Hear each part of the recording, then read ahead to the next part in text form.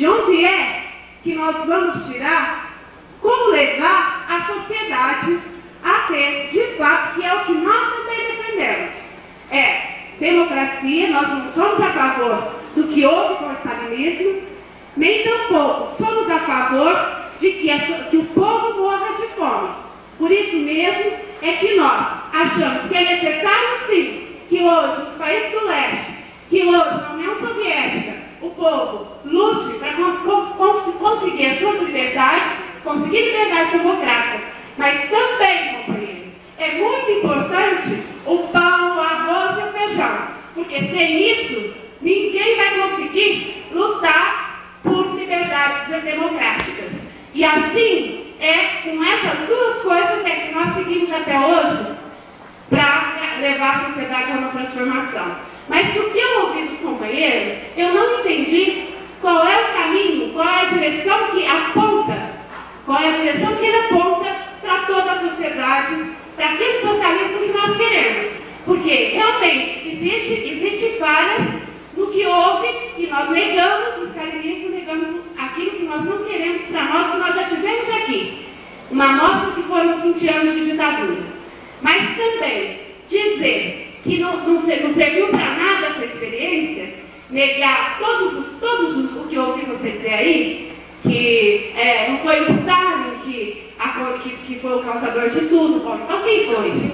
Então, se não é assim, se, olha, companheiros, vocês sabem que nós estamos esperando o que vai acontecer no leste europeu. Vocês sabem toda a confusão que isso gerou para que nós mesmos, o nosso partido, tome algumas decisões. Portanto, a União Soviética ou Stalin, ou quem estava no poder, que era Stalin em 1923, com a sua teoria de socialismo no seu país, vocês sabem que isso inclui a nível mundial. Portanto, não é dizer simplesmente, não foi assim, o Stalin, o Stalin faz, mudou tudo. Não é assim tão simples.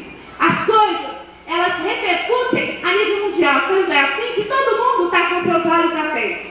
E, e, vocês sabem o que foi a teoria do socialismo no seu país. E sabem também por que, é que não deu certo. E aquilo que nós queremos é sim socialismo com democracia. Não é nem aquilo que houve e muito menos o que pode vir a ser. Que é o que nós temos agora, a miséria cada vez maior nesses estados que lutaram tanto para conseguir um nível de vida, pelo menos não tem onde não morresse de fome. Então eu, o que eu queria do companheiro é que ele explicasse qual é o socialismo que ele defende. Só queria dar uma explicação da mesa antes de passar para as outras pessoas colocar, que a gente, de certa forma, compartimentou um pouco o debate, isso foi colocado no começo, a gente ia fazer uma, uma colocação sobre o golpe, uma, né, as pessoas iam falar sobre o, a, o fracasso do golpe na União Soviética, e num segundo momento a gente ia tratar da questão de estratégia, de caminho de condição socialismo. Então foi isso que foi feito, acho que por isso que os companheiros não colocaram a questão do, dos caminhos. Acho que eles devem colocar só para esclarecimento. Quiserem falar. Eu só quero é, reivindicar as palavras da Fátima, porque também é a, a minha opinião. E o que ficou para mim muito difícil, como que é o nome, companheiro? Augusto. Então, Augusto, é o seguinte, que para mim, é, você também não direcionou e a sua intervenção foi um tanto incoerente, porque no, no, no decorrer da sua colocação, você não disse que havia sido uma revolução política. Inclusive, mesmo ela tendo uma direção revolucionária, é, como é que eu vou dizer assim, antidemocrática, é, aliás, uma, revolu uma revolução democrática, uma revolução levada por um partido, que está certo, não foi o todo o operariado, porque naquela época o operariado era mesmo uma minoria, era mais campesinato. Porém, você colocou que não foi uma revolução nem política e nem democrática. Falou que era só por pão e, e, e era pão e pasta. E agora, no final da sua colocação, você falou que, está, que a, a, você voltou no assunto e colocou que a revolução foi muito mais política em 1917. Então, para mim, isso ficou muito assim, confuso, não ficou claro. E para as pessoas falarem nome antes de se apresentar. Laerte, quero fazer umas perguntas bem objetivas. Como é que nós podemos negar tudo que aconteceu na União Soviética, se já em 56 ou 57, não sei, ela, na corrida espacial, ela já estava à frente dos Estados Unidos com 20 e poucos anos da Revolução. Aquilo lá demonstrava uma eficiência do sistema, uma eficiência econômica, uma eficiência na, nas relações, produção e da convivência social. Como é que nós podemos negar que lá existia, aliás, que lá só imperava o totalitarismo? Como é que Gorbachev conspirou? Como é que ele subiu ao poder? Se não foi através de articulações e até de conspirações. Então existia uma liberdade, pode ser que não fosse uma liberdade bagunçada como aqui, mas uma liberdade relativa de existir. Para esse cidadão entrar no partido, fazer as suas articulações, expor seus pontos de vista e fazer o que ele fez lá. Que está culminando agora. Então, eu faria mais uma pergunta. Será que não seria suficiente somente estudar um jeito de se adicionar então a liberdade de pensamento, a liberdade de expressão naquele sistema econômico que tenho para mim foi tão eficiente, já que o Brasil com 500 anos não consegue nem combater a inflação. E lá, uns 50, 60, 60 anos de revolução, a inflação é de 2,5, a dívida externa da apenas de 60 bilhões, pesquisa funcionando, universidades funcionando, e tudo ia muito bem. Será que não foi o efeito amostragem, o efeito solapador do capitalismo que desmontou aquilo tudo? Pergunto para você. Obrigado. Meu nome é Antônio Carlos, tá? Eu queria discutir justamente a questão da verdade. Então, veja bem, eu acho que a própria idade moderna, contemporânea, né, eleger paradigmas, né, que você trabalha com a questão da verdade, o problema das verdades, né, modelos políticos, ideológicos. É um próprio é, formação, né, um próprio do platonismo. Eu acho que a influência de Platão é muito grande, seja numa corrente comunista ou numa corrente socialista ou liberal. Tá? A influência de Platão, de Platão é nítida na Idade Moderna e Contemporânea, isso é com Galileu. Dentro disso, tá, existem três teóricos, uma linha teórica aí que se contrapõe a isso, que vem de Kierkegaard, é, Russell e Sartre, tá? se contrapõem a, a verdades que estão aí. Então, queria dizer tá, é justamente isso.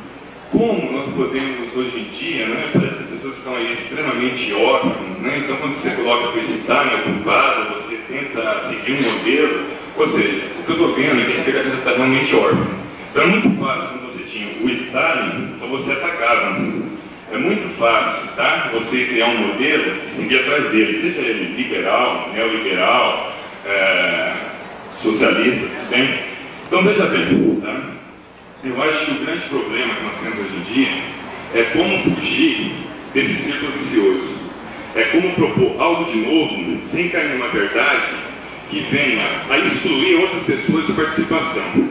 Tá? Porque essa verdade é igual a do nazismo, quando coloca que a raça superior, tá? isso está em Heidegger, por exemplo, que a raça superior é aquela que vai redimir a sociedade, que se coloca frente de todas as outras. Você entendeu? Então veja bem, quando o Germano aparece na televisão e coloca que uma sociedade onde toda a propriedade privada esteja estatizada, ela não deu certo. Então elas vão partir para uma pitada de 10% de propriedade estatal, uma pitada de 20% de propriedade coletiva, assim, entendeu? Então vão ter outro modelo que as pessoas vão seguir, entendeu?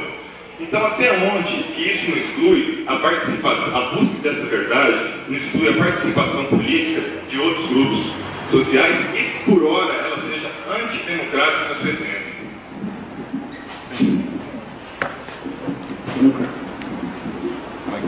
Meu nome é Antônio Carlos. O Henri Blinder, na sua falação, ele me referiu ao meu nome, né? Eu realmente é, questionei né, alguma coisa sobre. É o seguinte, esses dias, ah, na votação do, dos partidos, com relação, a posição dos partidos com relação à questão do golpe lá, a gente percebeu que a bancada do PT eh, toda né, era contra o, o golpe e, e, de certa maneira, eu percebi que o Ernesto Gradella, pertencente à, à corrente da convergência, uh, não votou né, uh, contra o golpe. Ele está né? Não votou junto com a bancada contra o golpe. Então isso aí me deixou assim numa posição, quer dizer, qual, o que, que eles estão pensando? Então realmente eu não sabia qual a posição da, da, que a convergência tinha com relação a essa questão. Eu achava que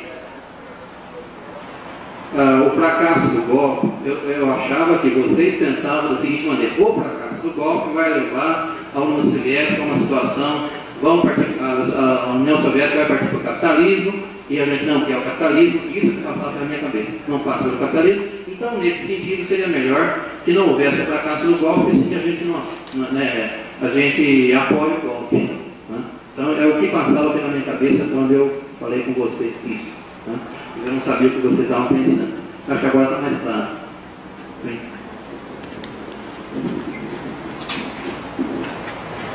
Vai fazer um bloco ou vai fazer tudo ontem?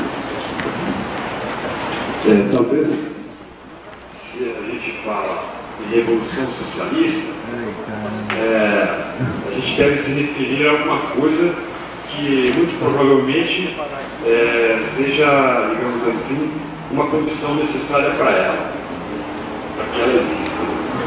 Quer dizer, que é muito mais do que as condições objetivas dadas. Ou seja, muito mais do que um monte de máquinas que existem para poder liberar o homem do trabalho para edificar todas. Quer dizer, existe liberdade se você tem que trabalhar. Liberdade é o ócio. Quer dizer, se o homem colocar essa perspectiva para ele, ele não deve ter muita perspectiva de ser livre, de ter socialismo, de ter comunismo, de ser outra coisa daquilo que ele é hoje. Quer dizer, então tem que falar dessa coisa que é para além das condições objetivas, que é justamente da vontade. Ou seja, é preciso que haja uma vontade dentro do próprio homem para que existam determinadas coisas. É, então, a gente poderia falar, por exemplo, da vontade das massas no século XIX. As massas que eram famintas, sim, mas que não eram só famintas de pão, eram famintas de sangue, de vampiros, eram vampiros, eram vampiros daquele poder pouco que estava lá, ou seja, da podridão da sociedade. É isso que eles socialismo naquela hora era a destruição da burguesia, era a destruição de todas as classes dominantes. E eles compreenderam bem isso. É isso que eles desejavam naquela hora. Fazer o socialismo existir e viver o socialismo. A Comuna de Paris foi isso. 1917 é uma vontade das massas. Existia um espírito, o espírito da revolução, a vontade de fazer o homem ser outra coisa daquilo que é. Está certo. Mas o homem, ele é assim mesmo. Ele tem vontade, depois ele retrocede. O homem é assim mesmo. Ele tem essas coisas, ele tem esses defeitos, ele tem esses bloqueios. O homem nasceu e viveu na opressão. É difícil ser livre de uma hora para outra. Às vezes a liberdade se apresenta e depois você corre atrás da autoridade, do poder, da dominação para ser servo. Essa é a questão que está colocada no socialismo, do homem ser livre, para hoje, para ontem, para sempre.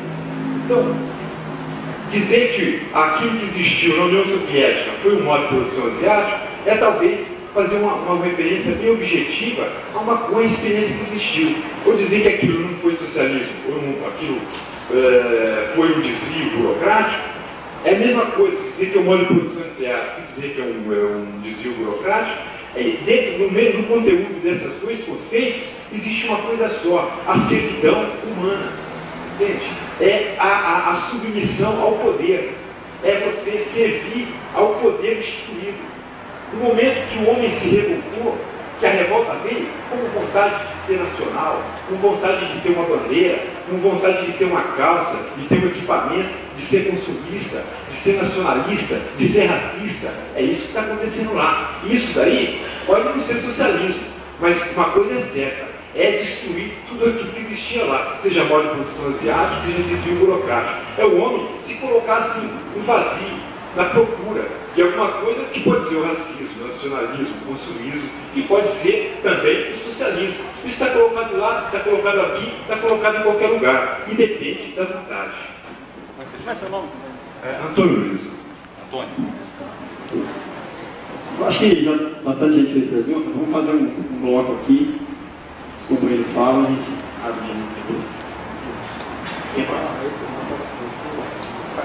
Viu, Fátima? E Almerina, ela, é, é o seguinte, é, aqui é uma avaliação sobre o que aconteceu na União Soviética. Não era um debate ainda sobre o socialismo e os caminhos.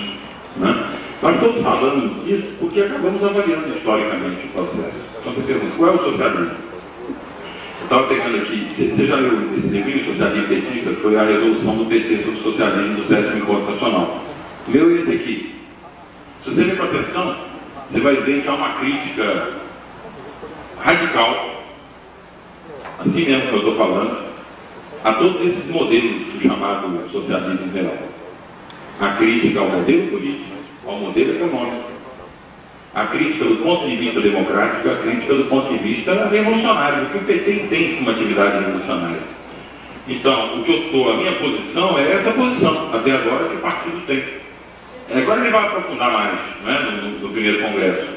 Mas essa resolução socialista petista, que foi aprovada por nós no sétimo encontro, ela, de certa maneira, exprime um pouco o sentimento que o PT tem em relação a essas experiências. Sentimento. Estava contando até um pedaço aqui daquela votação de Cuba, né? Como é que foi simbólico isso para nós? Porque Cuba sempre foi um partido, um país muito caro para os petistas. Porque nós temos sempre muitas relações e porque todo esse movimento que começou com a Revolução Cubana, ele inspirou as gerações de revolucionários do Brasil, que hoje são os dirigentes do PT em grande parte. Nós vivemos desse clima do Che Guevara, do, né? Estou vivendo muito isso, então é um negócio muito ligado a nós. E foi muito duro o partido tomar a decisão que tomou. Mas tomou. Por que tomou? Porque entendeu que não, a gente não pode ficar mais justificando é, o que aconteceu em nome de, da defesa do socialismo, porque nós não, não identificamos aquilo como socialismo. Esse é que é o problema. Já fomos, já fomos tímidos na campanha eleitoral do Lula, porque a aliança com o PCdoB também nos bloqueou muito. Nos bloqueou muito, porque estava lá o Collor e todo mundo falando, está aí caindo tudo, é esse, esse socialismo que o PT está querendo. Lembra da campanha que eles atacavam pela televisão e nós não podíamos dizer qual era o nosso socialismo, porque não tinha acordo no comitê de campanha, porque o João Amazonas disse, não, eu não admito, não sei o que, então, porque o João Amazonas, como vocês viram até recentemente no programa de TV,